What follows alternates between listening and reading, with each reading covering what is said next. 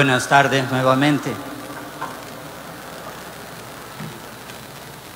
Su eminencia reverendísima, Gregorio Cardenal Rosa Chávez, obispo auxiliar de esta arquidiócesis, reverendo padre Juan Francisco Cartagena, eh, párroco rector de la catedral, padre Fernando Villalobos, vicario.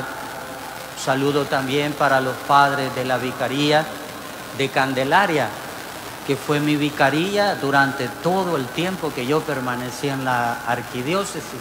Por eso allí veo muchas caras conocidas y algunas eh, siempre cercanas, porque luego de esta vicaría yo salí para San Marcos, siempre, siempre vecino. Un saludo también para todos los de la Vicaría Divino Salvador, que ya, ya, ya casi terminan completamente la fiesta.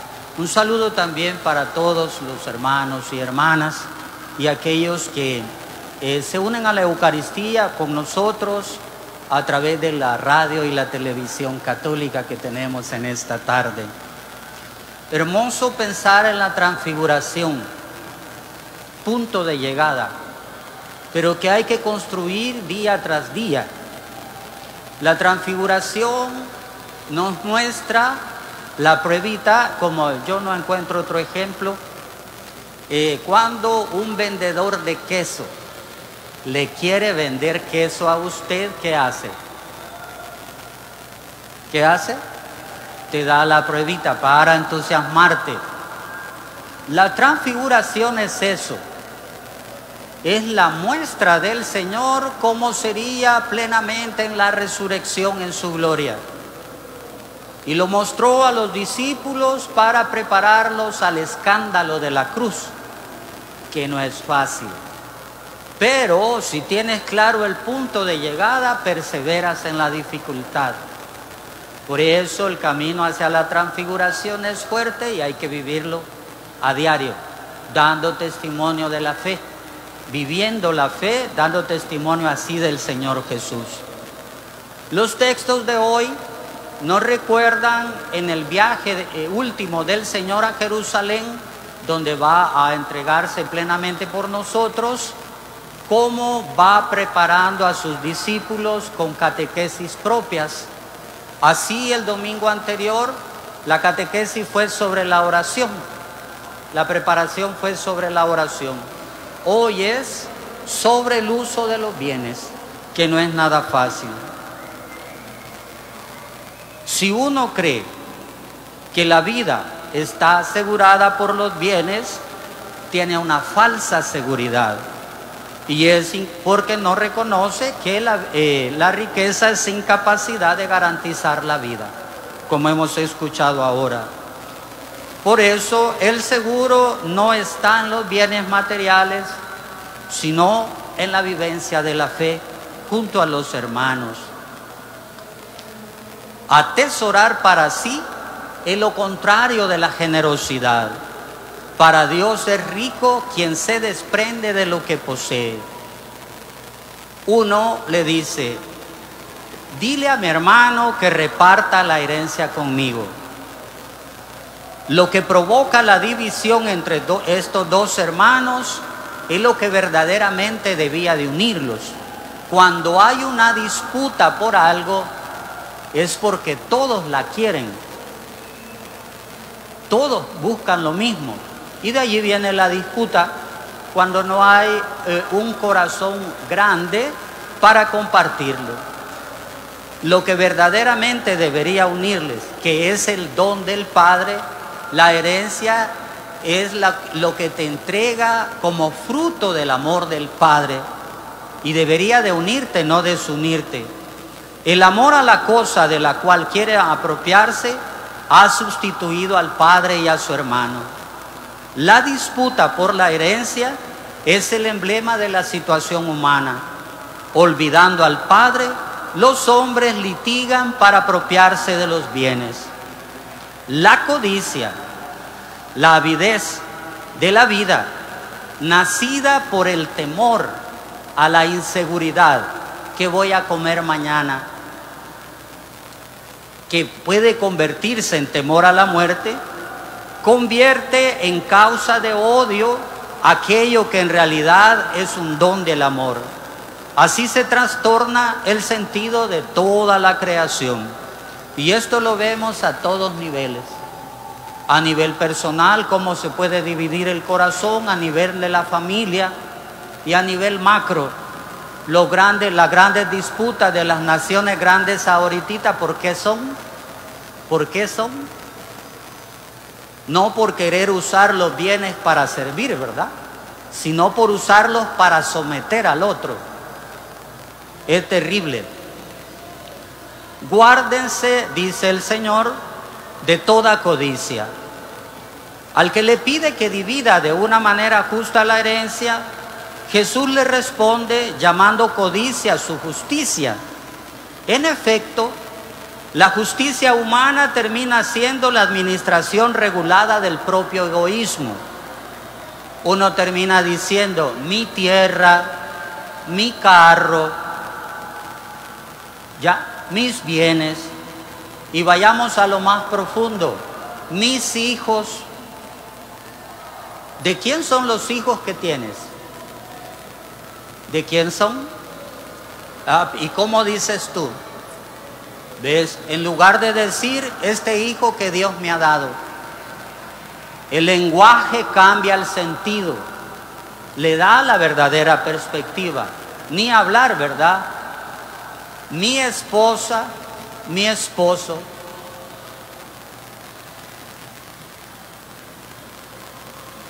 Si tú dices, la esposa que Dios me ha dado la tienes como un don el esposo que Dios me ha dado lo tienes como un don.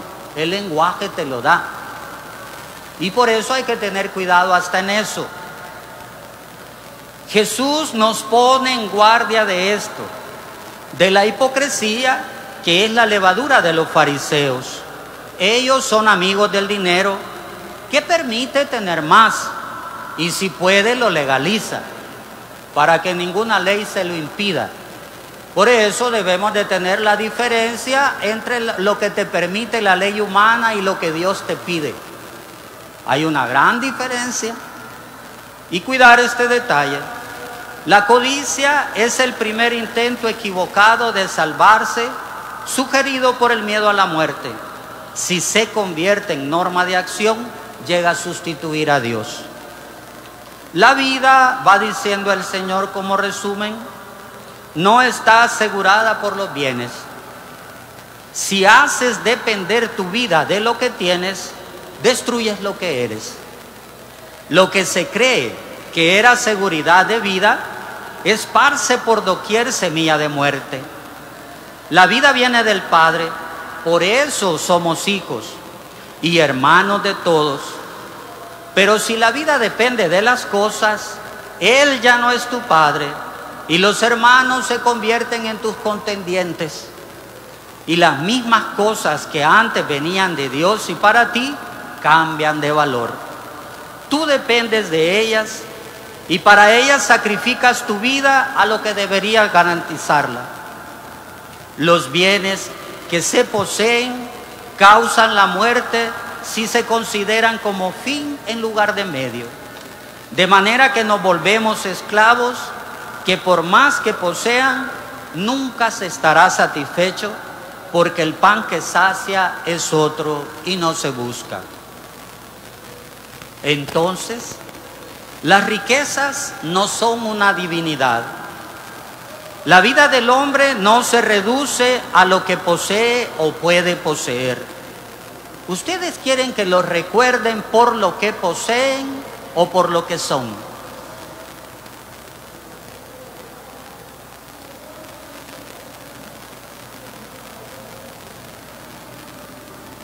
Mira qué interesante. ¿Quieres que te recuerden por lo que posees o por lo que eres? Esta es la cuestionante. El discípulo de Jesús no tiene que preocuparse de las riquezas como si fuera un pagano o un ateo. La dignidad de la persona no está en el tener, sino en el ser. Ah, en la Biblia las parábolas nos lo recuerdan. el pobre Lázaro y el rico, que no se menciona ni siquiera su nombre. ¿Cómo quiere ser recordado? Es parte de este camino de transfiguración. La parábola describe a la persona que hace consistir la propia seguridad en la acumulación de los bienes. Es lo contrario del discípulo cuya seguridad está en el amor del Padre y de los hermanos. Nuestra vida no está en los bienes, sino aquel que los da como un don. Su sabiduría ha previsto que la satisfacción de nuestras necesidades sea medio para comprender la comunión con el Padre que da y con los hermanos que compartimos. Este es el reino de los hijos de nuestro, que son que es el verdadero tesoro. La parábola nos muestra a un rico insensato, un necio. ¿Qué cosa quiere decir insensato?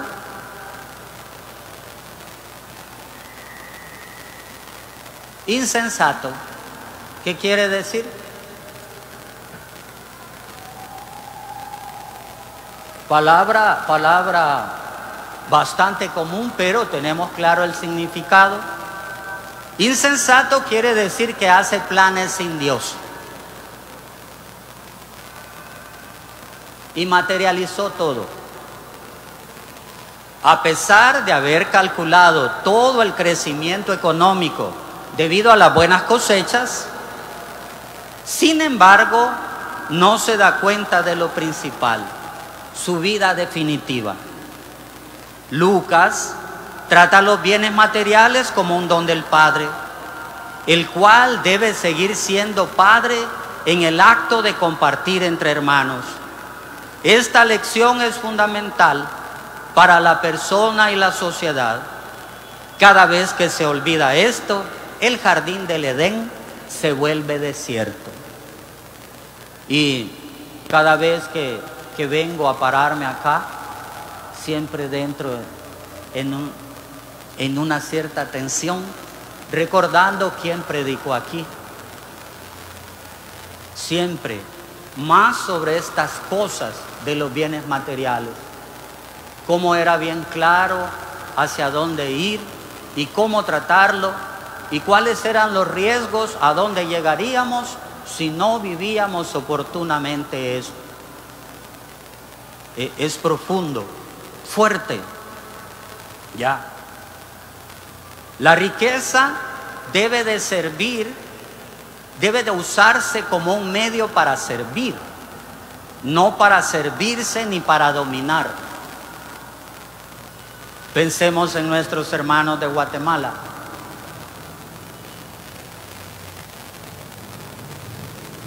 Pensemos en nuestros hermanos de México. sometido por la fuerza de la economía.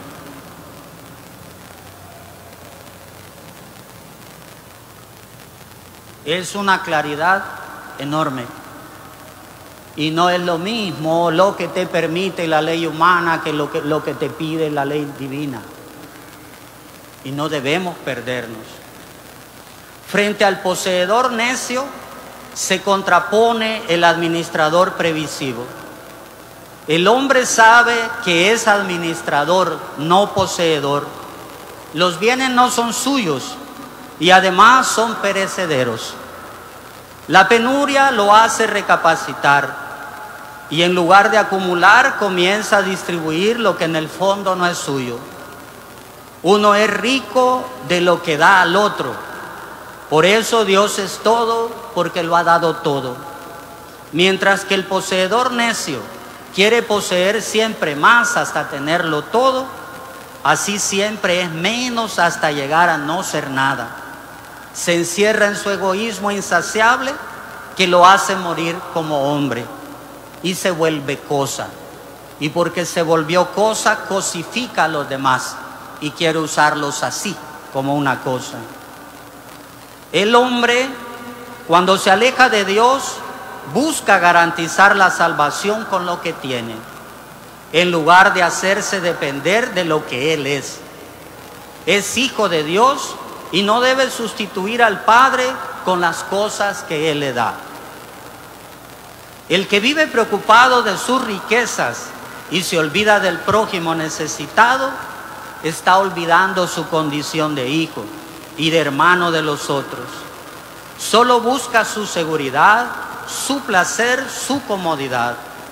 Tiene el corazón insensible a la necesidad del prójimo. Y en esto estamos llamados todos a revisarnos personalmente como familia y como comunidades. Por eso la única garantía de la transformación de nuestra sociedad es hacer vida esta palabra. Que la asumamos. Es la única garantía. Si no, seguiremos ensayando eh, sistemas económicos, eh, probables gobiernos y otras alternativas y no pasará nada, porque no asumimos los valores oportunos. La sociedad siempre propone otros valores, el tener, el hacer rendir el capital, llevarse buena vida el que tiene y el que puede. El cristiano ha de pensar que sus bienes son suyos en tanto y cuanto sirven para el bien de la familia y de otros hermanos necesitados. Los, los, padres de la iglesia afirman que los bienes o las riquezas no son de aquel que se dice propietario, sino de quien más lo necesita. Y de aquí viene la pregunta. ¿Qué de lo que tú tienes necesitan los demás? ¿Qué de lo que tú tienes necesitan los demás? Y eso no es tuyo. Hablemoslo a nivel personal, a nivel de familia, a nivel de comunidad, a nivel de país. Lo que tú tienes que los otros necesitan no es tuyo. Medicina en los hospitales, escuelas atendidas, vivienda digna, ley del agua.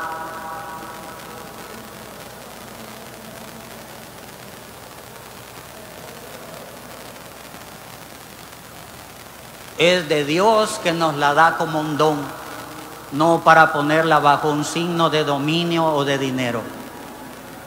Es un derecho que debemos de garantizar y que debemos de estar atentos a que se cumpla. Jesús en este texto establece los criterios de cómo usar las riquezas. Tales criterios los tienen en cuenta aquel que se hace rico a los ojos de Dios y se olvida de ellos el que acumula tesoros para sí. Entonces dirá el libro de Tobías, es mejor dar en limosna que almacenar en oro, ya que ésta nos da nuestro verdadero tesoro, ser como Dios, que es don para todos. Recordamos los santos padres que eh, siempre nos motivan a ser distintos ¿De qué te sirve vestir tu casa de, grandes cortinas si para ello desnudas el cuerpo de tu hermano?